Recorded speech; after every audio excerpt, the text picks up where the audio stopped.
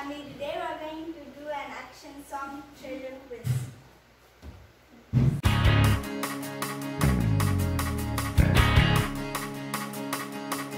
Does your heart give?